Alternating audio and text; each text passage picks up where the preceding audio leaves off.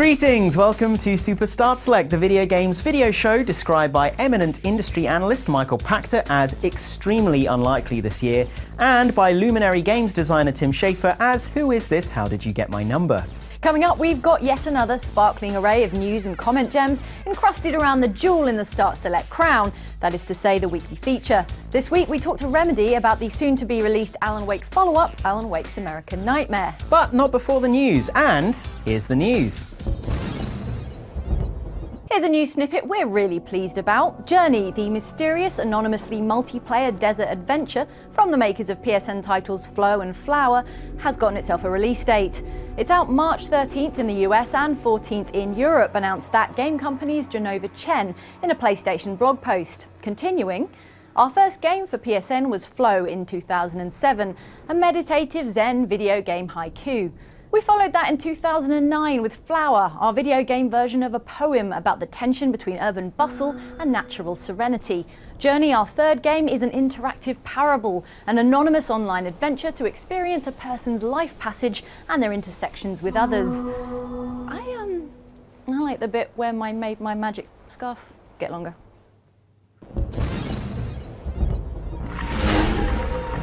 Next, if you're looking forward to seeing Mass Effect 3 landing on your doorstep at launch, you may find yourself lucky enough to have it, well, landing on your doorstep early. According to site USA Today, publisher Electronic Arts will be launching a select group of copies into the Earth's stratosphere by way of weather balloon, allowing the titles to fall back to Earth in what we are describing as Pleasure Rain or Hurricane Shepard. Balloons will be launched next week from New York, San Francisco, Las Vegas, Berlin, London, and Paris. Each of the copies will be fitted with a GPS tracker, and they'll be trackable from MassEffect.com. So, if you fancy picking yourself up some space swag and have a keen eye for map reading, you might find you're not just the first person to pick up one of these precious EA asteroids, you might also be among the first to play the game at all. As for the rest of us, we'll be holding out till March 9th here in Europe, March 8th in Australia, or March 6th in the US. Let's take a moment now to glance down the list of this week's hot new releases, in case you are hankering after a new purchase, whether in the form of a digital download or lasered onto a shiny plastic disc and jammed into a jewel case. First up, there's shirtless fighting man simulator UFC Undisputed 3, latest in the series of MMA games, which garnered an excellent 8.0 in our review. It was praised there for its skillful new submission system, comprehensive tutorials, and improved career mode. Says our reviewer Justin Calvert, it's a significantly more accessible game than its predecessors, so you don't need to know a reverse mount from a rear mount to enjoy it, which is mm, good for us. Then there's Warp out on Xbox Live Arcade. It's a puzzle based stealth action number in which you play a teleporting alien critter trapped in a lab where they appear to have brought in the same decorators as Aperture Science. You've got to sneak your way past armed guards to freedom by warping in and out of items and people. Also, you can make people explode from the inside, much like a frog in a microwave, uh, we imagine. Finally on PC, there's Aviation Extinguishment Excitement in Airport Firefighter Simulator at last!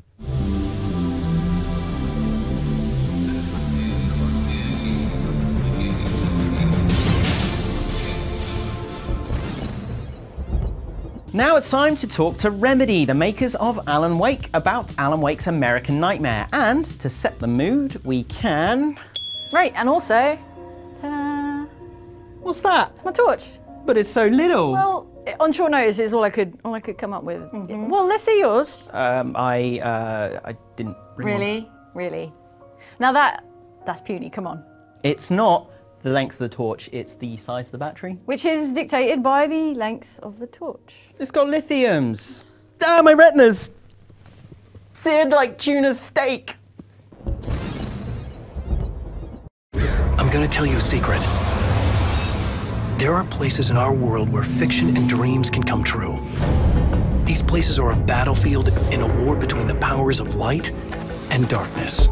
In 2010, Remedy's psychological thriller Alan Wake took us to a town named Bright Falls.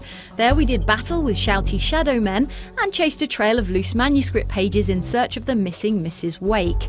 Now we rejoin Alan in a different place, time, reality, and also format. This is Alan Wake's American Nightmare, a downloadable standalone spin off of the original game. we talked to Remedy's Director of Franchise Development, Oskari Häkkinen, about what to expect. Okay, so the events of uh, American Nightmare happen after Alan Wake. Um, and Alan Wake has learned a lot since we saw him last. Um, you know, in Alan Wake, kind of fiction was in a way dictating uh, things that were happening in that game to him. Now, Wake has learned to use fiction to his advantage, and we're seeing that in the gameplay as well. In American Nightmare, Alan faces a host of new enemies, like giant spiders and big burly dudes with circular saws, but chief among them is Mr. Scratch. I need you to tell me what you know about him. Now, Mr. Scratch came about after the events of the first game. Now, as we know, uh, in Wake's world, fiction can come real. Um, and after the dust had settled in Bright Falls, uh, the locals started to speak and created this urban legend of Alan Wake, a rock star writer that came to their small town and brutally murdered his wife. Now, we know that that didn't happen, but um, that's how Mr. Scratch was born. Now, Mr. Scratch is a supernatural serial killer on his way to do horrible things to Wake's wife, and Wake's trying to stop him. Do you know the real difference between us? I'm not afraid to be the center of attention. Well, the backstory goes that early on in Wake's career, he had written several episodes of this TV show, Night Springs, that was seen in the first game. And it had this kind of Twilight Zone feel. The man before you is a champion of light, an experienced traveler of the unknown, well used to navigating dreams and nightmares alike. Now, in Alan Wake's American Nightmare, you're playing an episode of Night Springs, and it's written by Alan Wake himself. So again, he's using uh, fiction uh, to his advantage now.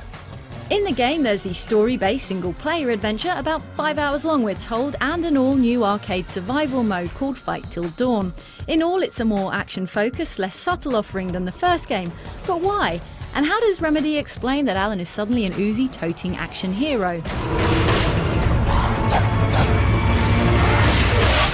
We didn't feel that it would have felt right for Alan Wake, um, you know, a writer. He's not a commando or a space marine that could all of a sudden be wielding a machine gun. So we had to keep it grounded in reality.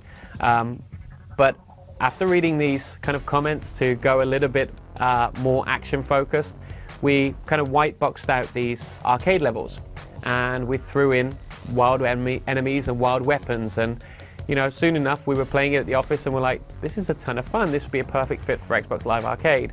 Um, until Sam Lake, uh, our lead writer, of course, steps in and says, you know, fine, but I need to think about how this fits into the Alan Wake universe. Um, so goes away, comes back, and and you know has come up with the idea that we can use the in-game TVs from the first game, Night Springs, which had a Twilight Zone uh, feel to it, um, to of course wrap it in that, and everything can be wilder, everything can be weirder in the enemies and the weapons because it's framed as an episode of Night Springs. The first Alan Wake game wore its pop culture influences on its sleeve, drawing heavily on the work of Stephen King for one. American Nightmare steps away from King's brand of horror and turns to a set of pulpy Americana inspirations. So we lend from popular culture, we tip our hats um, in Alan Wake, for instance, um, to some of the greats, uh, Stephen King, Lynch. In Alan Wake's American Nightmare, uh, some of our influences are Quentin Tarantino and From Dusk Till Dawn. So there's a different vibe and different feel there.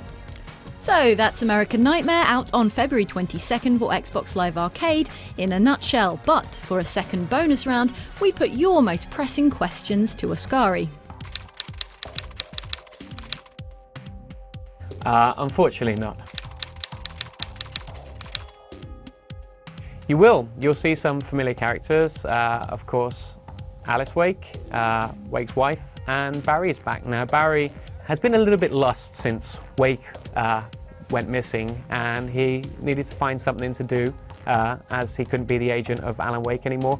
So he's now the manager and agent of the Old Gods of Asgard, the uh, band from Alan Wake, and they're back with a new single as well. Yes, there will definitely be a ton of optional story content in there to expand the story in the universe of Alan Wake in the form of manuscript pages, radio shows, TV shows, uh, more dialogue with the NPCs and so forth. That's a very good question, and the first time that anyone's actually asked me that. Um, actually, not. We won't be having any more fiction within fiction, within fiction. Uh, the TVs are there, but actually it's Mr. Scratch that is sending messages to Alan Wake through the TVs. That's a very good question, um, and I have nothing to announce on it yet.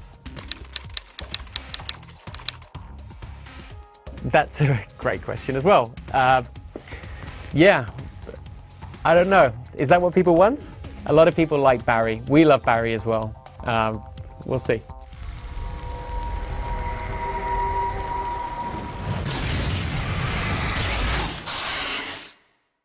Uh, we've just got some um, merchandise ideas to pitch at you because your biography says you're the man we can pester with book, movie, games, and merchandise ideas. Right. So, yes or no will do, uh, whether you think it's a viable um, merchandising option. So, Alan Wake branded thermos flasks.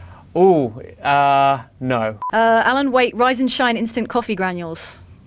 Interesting. I actually thought about it at one point, but no. Alan Wakey Wakey alarm clock.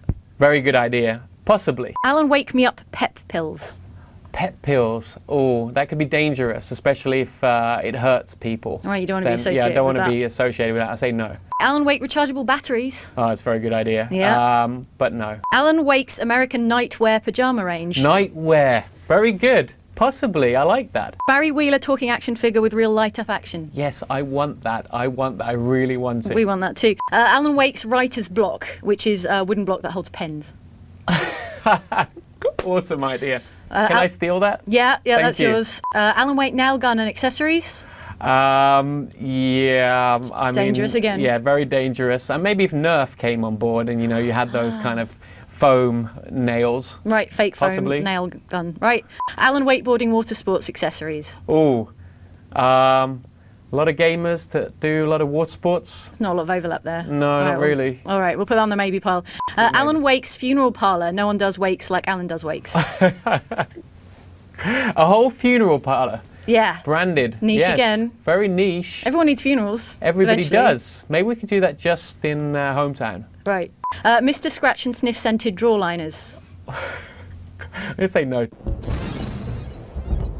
As ever, we roll along into the comments section in which we share a choice selection of your always appreciated feedback, whether on the news, on the show, or on my youthful energy and smooth, hairless knuckles. Let's kick off with Yuri Y, who's none too happy with Blizzard's move to block Valve's nabbing of the Dota name. He or she says, What? If Blizzard delays Dota 2 release, they are dead to me.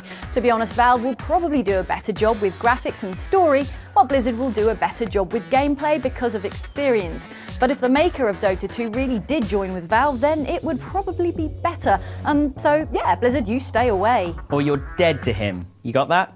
Dead.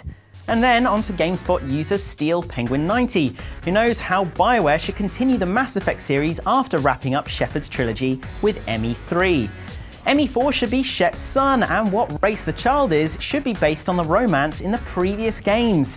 Maybe an evil half brother sister genetic freak. Yeah, so what if Red Dead Redemption did it? Jack Marston for the win.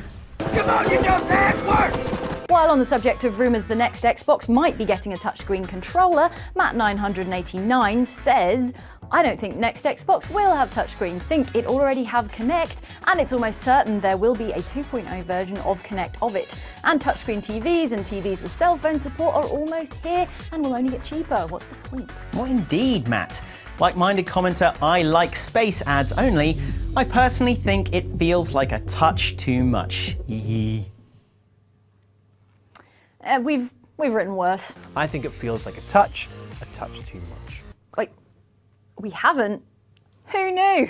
Finally, user Scrober tells us. I'm always genuinely bummed when there are no outtakes. Still love you guys. Man, well, like we said to our mothers, we hate to disappoint someone who loves us.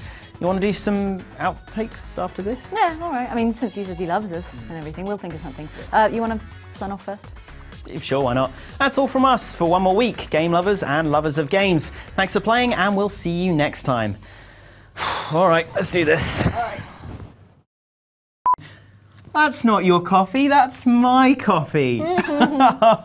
Greetings, welcome to Super Shot Select. I'll take. I'm sorry, I- I'm sorry, I'll do that again. Greetings, welcome to Superstars Erect. Oh no, wait. Oh, Hang on. oh no, Oh, Danny. Sorry, Danny. From the top. And now it's time for the video game news. Oh, Oh, you! Danny. Every oh, time. Every time. Every week. How did you notice I wasn't over here? You're dead to him. You. Oh, There's paper everywhere. Oh, script. Oh, how are we going to pick this all up? Oh. Greetings, welcome to Stupid Tom's. Greetings, welcome to Stupid Tom Selleck. Oh, that's not right. That's ah. that's next week. Welcome to Soupy Stars Eject. It's not even close. No, supper salmon, super SARS salad. See, check shirts. Alan Wake, get it? Yeah, We had on a plan for that. Yeah, this isn't accidental, time. Yeah. like usual. We're not just dicks. You are.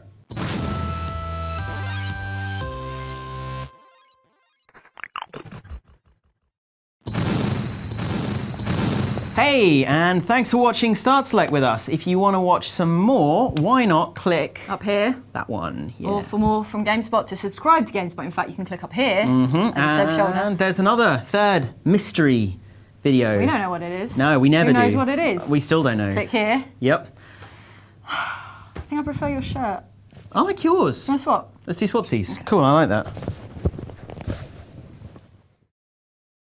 It's tiny.